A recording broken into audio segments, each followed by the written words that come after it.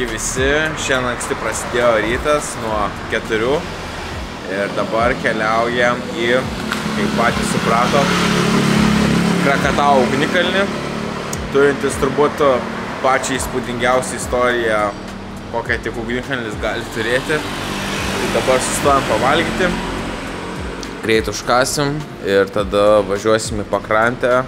Tiesą sakant, mes jau esam ant pakrantės ir šoksim į laivą ir plauksim link Krakatau likučių. Nes Krakatau įsiveržė prieš maždaug 120 metų, jei tiksliau 1883 metais ir jisai sprogo. Jisai sprogo, nebuvo tradicinis išsiveržimas, kad tiesiog pelenai labai įsilieja ir viskas tuom pasibaigė, ne. Čia buvo labai labai rimtas sprogimas. Paskui kelyje papasakosiu, o dabar pavalgysiu. Arbatėlė. A lot of sugar, yeah. yeah, they love sugar. I mean, they're putting so much sugar, but I guess this is why they're not mixing. They're just Oh, they putting, put it they put it, yeah, That's why they give you this. yeah. So you can mix it. Blineliai, kiaušinienė, kiaušinienė. Tik be džemų.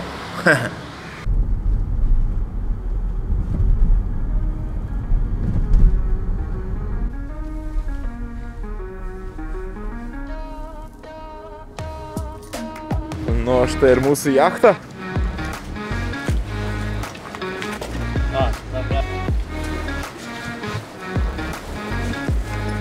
Banano visai šeimai.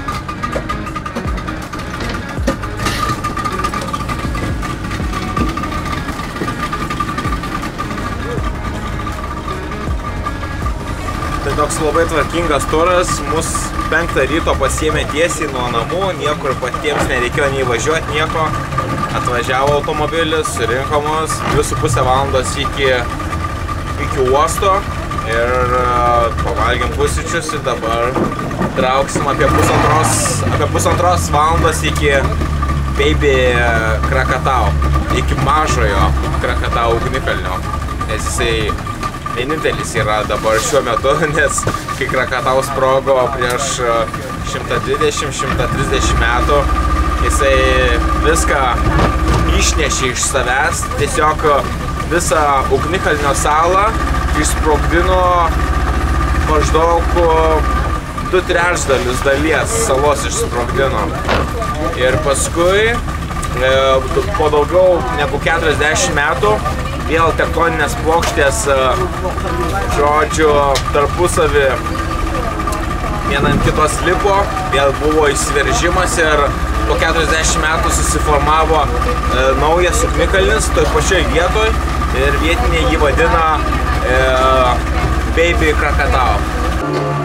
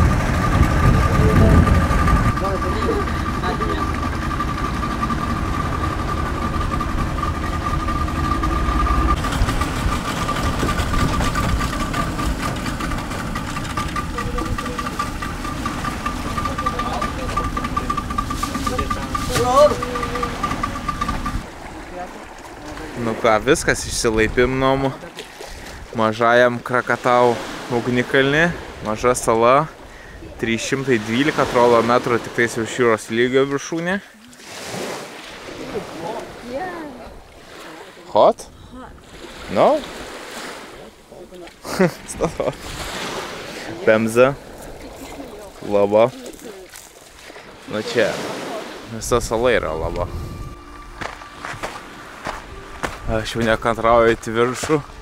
Aišku, dar čia nais kolektyvas, kol susiruošiu. Aš tik taip apsidarysiu. E, nes aš žinau, Hebra, šita svajonė buvo gan senokai. Nesakau, kad čia buvo kažkokia kosminė svajonė, bet tikrai buvo svajonė. E, čia nais atsidurti Krakatau ugnikalnyje. Ant Krakatau ugnikalnio. Eik savo. Pats žymiausias ugnikalnis turbūt žmonijos istorijoje. Eisim link kraterio, tikiuosi. Ne, tegul nebando sustabdyti. Čia mūsų gidas vedlys. Bet fantomai jisai nieko nepapasakos apie šitą ugnikalnį, kas labai gaila, tai... O, čia visai taip gan statu. Tai iš tiesų viskas, gal galima sakyti, prasidėjo 400 metų po Kristaus. Buvo žemės drebėjimas ir būtent šitoje vietoje susiformavo e, sala, žymiai didesnė negu dabar mes esame, kurios ir vardas tapo Krakatau. Tai sala susiformavo su trim krateriais.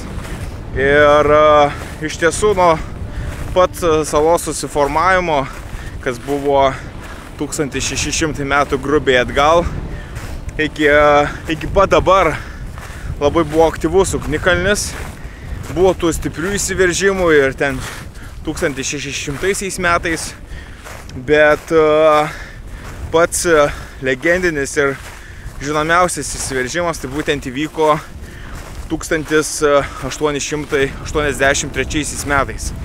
Na ir taip jau yra, kad Indonezija yra tokioj geografiniai padėtyje ant Ring of Fire, dar kitaip vadinama ugnies žiedas. Tai tokia zona, tokia linija, kur susikerta daug tektoninių plokščių.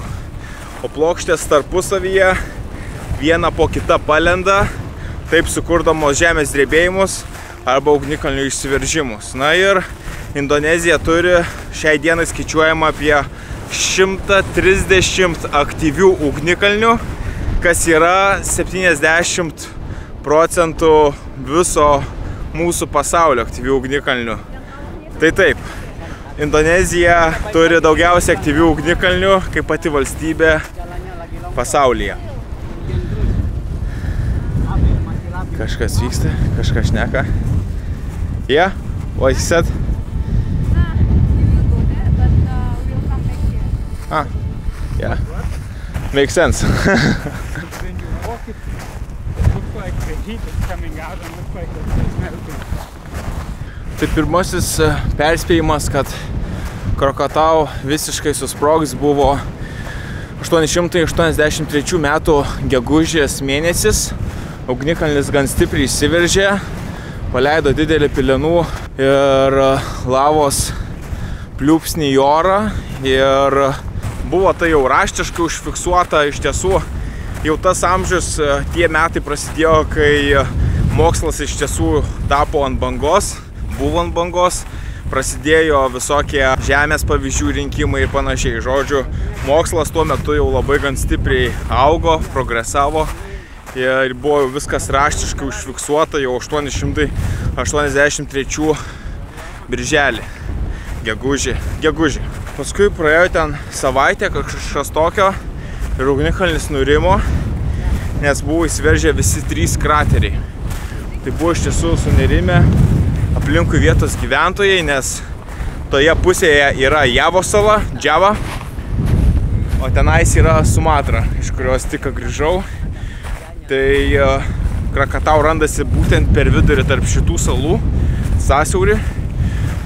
Ir e, po skaičiuojama lygiai po šimto dienų įvyko įvyko istorinis dalykas. E, Ugnikalnis taip prasiveržė, kad sprogo keturis kartus. Įvyko keturi dideli sprogimai, kurie prilyksta 13 tūkstančių Hirošimos bombų numestų.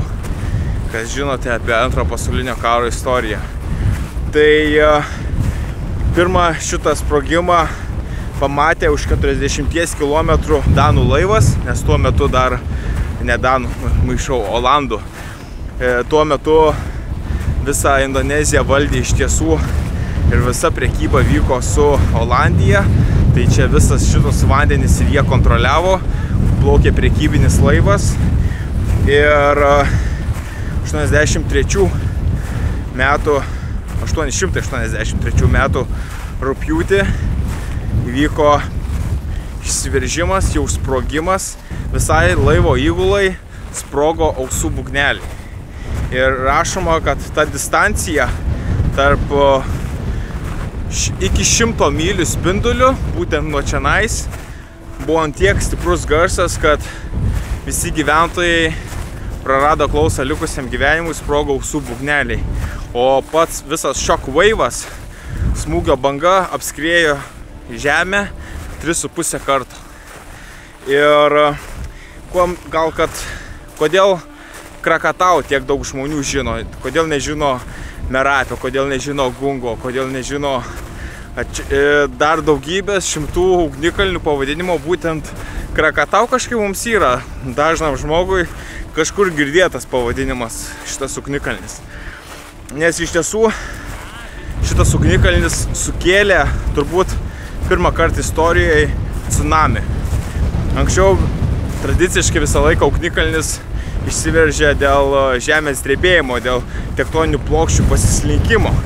Bet uh, jisai dažniausiai niekad nesproksta ir nesukelia tokių didelių virpesių, kad sus, susikurtų tsunamis. O kadangi Krakatau yra sala,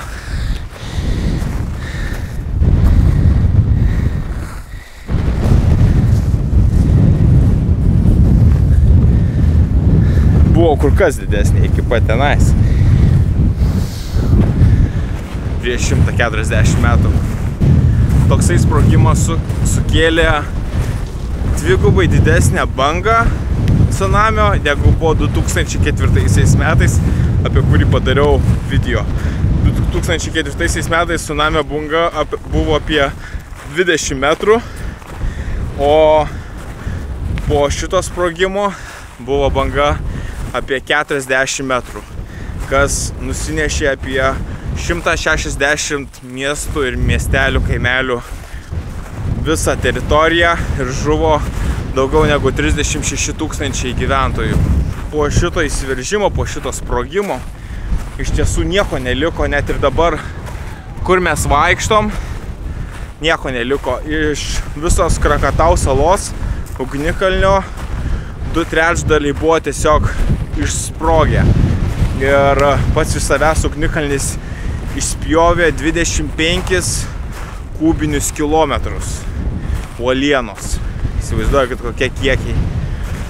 Ir iš tiesų va šitas išsiveržimas ir davė mokslo tą, tokį suvokimą, kokią galę gali turėti ugnikalnis, kad gali paveikti ir, ir vandenyną, ir ir klimatą, nes tiek buvo daug pelenų ir užstojo saulė dviem dienom.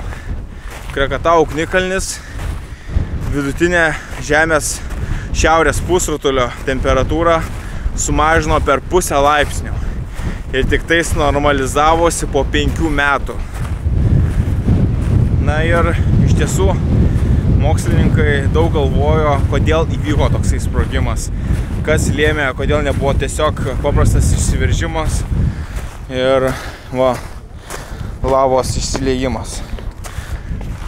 Kodėl įvyko tokie keturi galingi sprogimai, kurie sukėlė tsunami, kurie žmonėms susprogdino ausų būgnelius. Garsas sprogimo girdėjosi net Australijoje už beveik 4000 km. Jie girdėjo sprogimą, įsivaizduokit.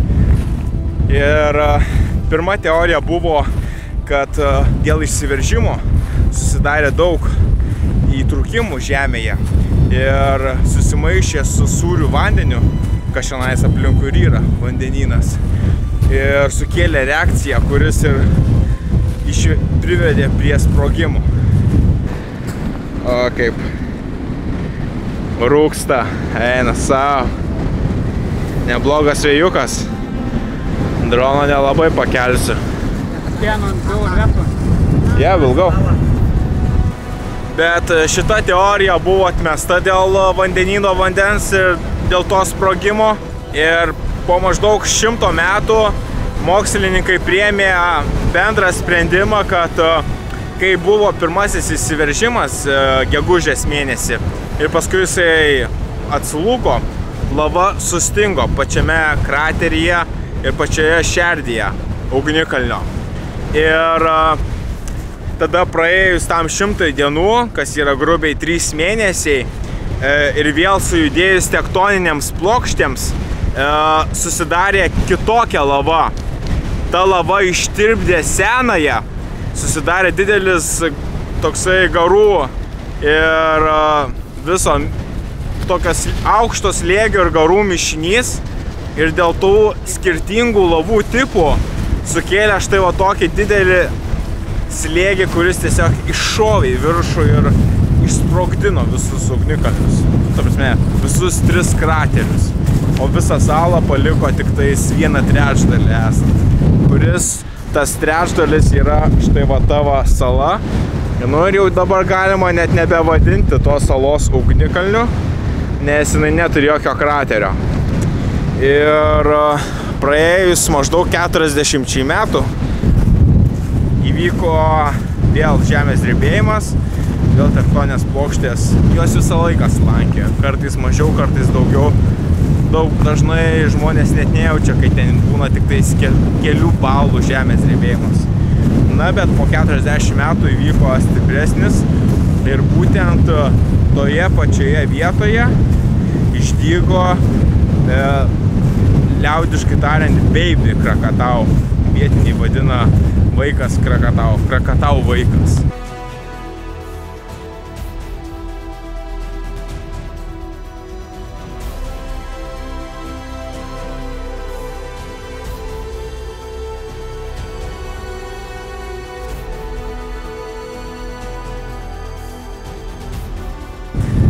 Tai čia ir yra Krakatau vaikas ir jisai yra pakankamai labai aktyvus. Wikipedia rašo, kad paskutiniai aktyvumo metai buvo 22, tai šiuo metu jisai yra aktyvus. Ir manoma, kad gali jisai taip pat labai stipriai išsiveršti šiais metais. Nu, gal dabar įsiverš, bet mes to nežinom.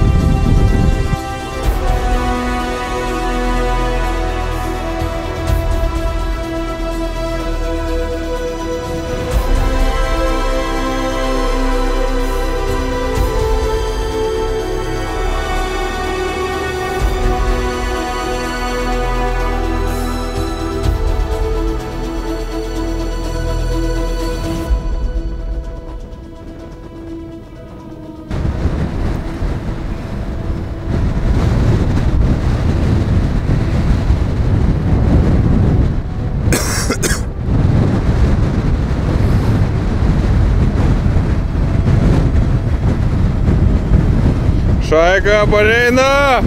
Pareina!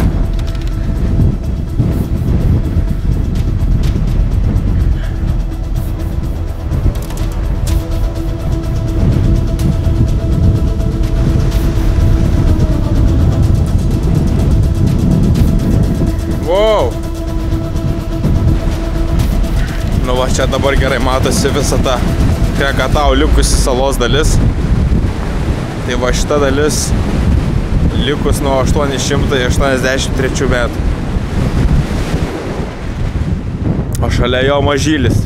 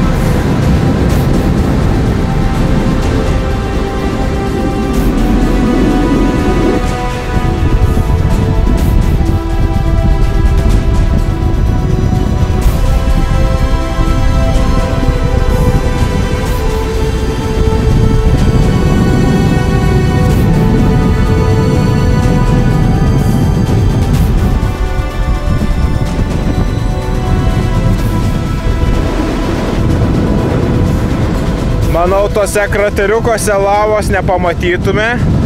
Tiesiog eina garai.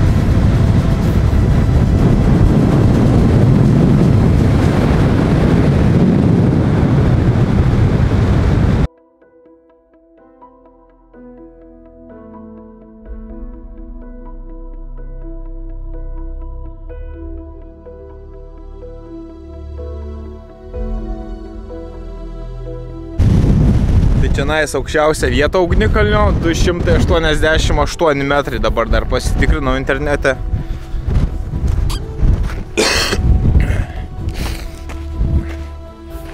Mano žemiausias, žemiausias užkoptas ugnikalnis, bet nu vis tiek ugnikalnis ir dar su tokia istorija. Ir dar turint omeny, ant kiek jisai aktyvus ir pavojingas dabar, tai čia rizikinga stovėti iš tiesų. Vėjukas geras, blembački. Bet žiauris, žiauris smagu, ta prasme. Aš jau apie Krakatau turbūt žinau nuo paauglystės, turbūt nuo, nuo mokyklos laikų. Jo, ir man visą laiką toksai jisai buvo užstrigęs, kad noriu aš tenais nuvykti, noriu pamatyti jį, jo užlipti. Nu ir va, galiausiai viena iš kelionės tokių misijų šitos kelionės, tai va būtent pamatyti Krakatau. Manau, pakankamai stipriai pamačiau, pajutau ir užuodžiau. Sulfato garai nėra tokie blogi. Blogai yra, kai kvepuoji pelenais, kai išsiveržia ugnikalnis.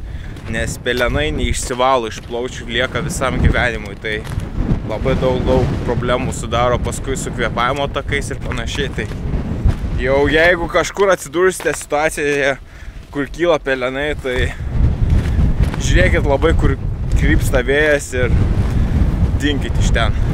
Gerai atrodo. Grįžtam pas Hebrą. Tenais va stovi. Matosi. Bet netoli jie. Viskas Hebra. Baigęs balius. Kyla dar žiauresnis vėjas. Ateina audra! Uhuhu!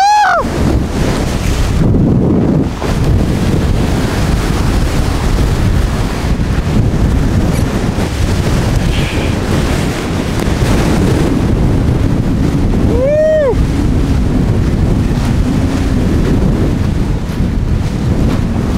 Jau lietutis eina, bet leidžiamės, tai biški tuo ir vėjas aprims. Eik tu savo. O!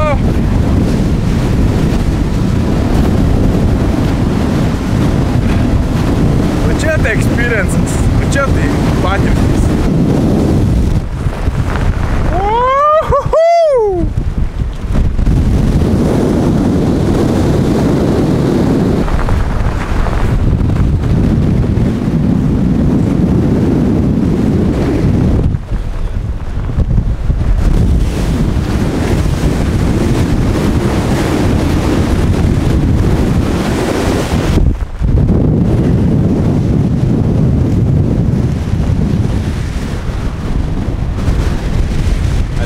Krakatau.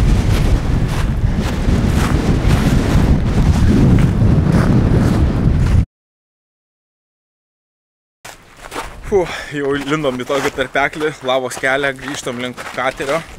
Tai ką dar nepamiršau pamiršau pasakyti, kad e, bent pagal šaltinius teigiama, kad e, šitas Baby Krakatau ugnikalnis į metus paauga po 5 metrus. Po 5 metrus, tai po 10 metų bus jau plus 50 metrų prie altitudės nuo jūros lygio. O čia dabar va tokiais, tokių kanjonų senelė aiškiai matosi, va taip susisloksniavusi, sulfatas. Marsas, Marsas, tik tai tolumoje vandenynas, nelabai marsietiška. Nu va, iš Krakatau išplaukiam gražus vandenukas. Tai va, Krakatau liko, dabar net nebesimato. Tai kad nereiktų bat. Jo, tai Krakatau va likom, o ne tornadas darosi ant vandens. Lengvas toksai, nelabai matosi. Geras vėjas. Ir čia naisva pa, papietausim. Fainas paplūdimiukas, krabeliai laksto. Ir paskui pagal visą programą įeina ir snorklingas, panardymas. Tai nesitikėjau, kad dar čia reikės, prasme, kad dar turėsim galimybę ir panardyti. Tai sako, ką norit pirmą, ar nardyti, ar pavalgyti. Sakom, reik valgyti, reik valgyti. Tokių gerų bangų gavau, kad va visas šlapės. Net nesimato per kamerą, krabelį laksto. Krabas. Uh, uh, uh.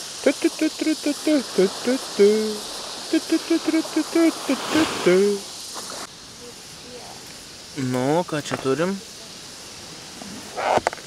Oke. Makan. Dah. Makasih. Makan, Pak. Ya. Nice. Čili, matau.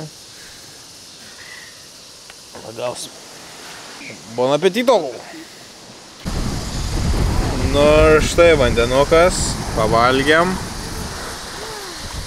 Good water. Nice water. O, balionas. Sakė, dabar negalim išplaukti, nes tolumoje audra vyksta. Bangos iš tiesų iš šiandien matosi kaip lūšta. Tai šiandien galim paplaukioti, o tenais galim pasnorkelinti. O tai įdomu, turi akvalangas su lastais, kad sako snorkelinti. Bet žodžiu, fainas vandenukas ir šilta.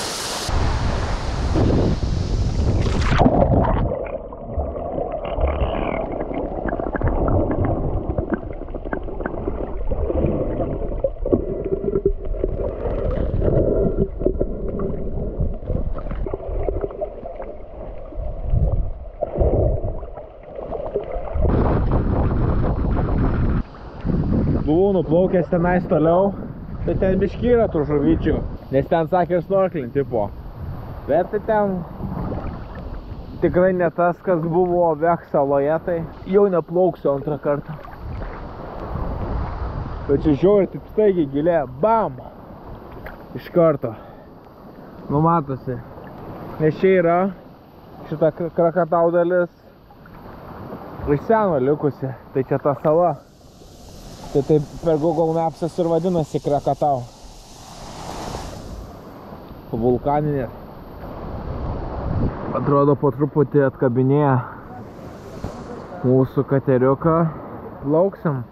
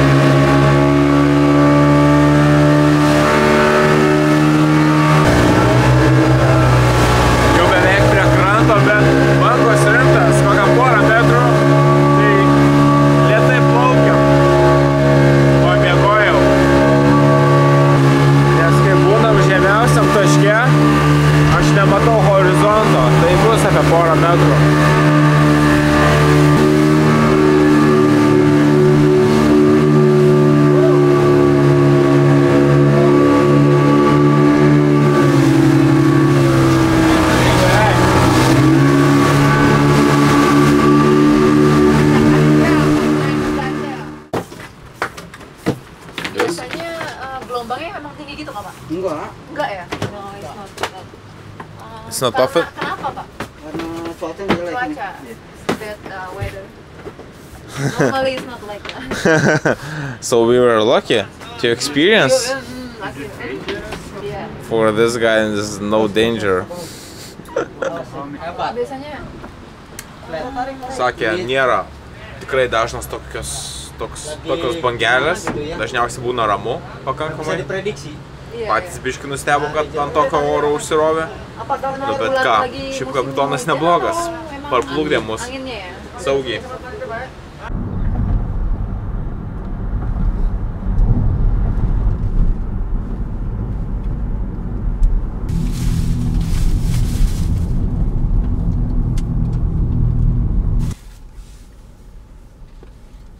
ya. saugiai. Oke, itu sampai juga. Eh, dicek Sama-sama dicek lagi kalau ada ketinggalan. Cek. Bye. Nu, biškių užtruko, strigom kamščiuose, tai kokias penkias valandas važiavom. O distancija buvo gal tik tais 140 km. Jo, tai... Jo. Atrodai miręs. Miriai, miriai viduj. Panašiai jaučiuosi. Nu, nu, nu. Nu ką, virtuvę aptvarkiau, dabar darom makaronus. Išvirsim, pakepinsim ir tada dar ant viršaus užmesim sūriuko. Nežinau, Hebra turbūt nelabai valgys, sakė, pavargė. Tai čia pusė kilogramo šverdu. Tai dabar vakarieniai nuvalgysiu ir dar bus liks pusryčiam. Baigė virt, einu vlogą montuot. Dar reikia nusimaudyti, nes nesimaudžiau. Dar visas kūnas druska pilnas, aplipęs. Nes šiaip vandenynas žiauriai sūrus, tai iš karto nudžiūsti, iš karto balta, balta oda darosi, nes druska lieka tiesiog ant odos, tai reikia nusimaudyti pilnai. Nu ir viskas, bus diena pilnai užbaigta, mini svajonė įgyvendinta, sakau jau apie Krakatau, tai labai labai daug metų galvojau ir va, šiandien buvo ta diena, žiauri super, toksai įdomus, geras jausmas. Tai va, tikiuosi patiko. Ir iki rytojaus. Čiau.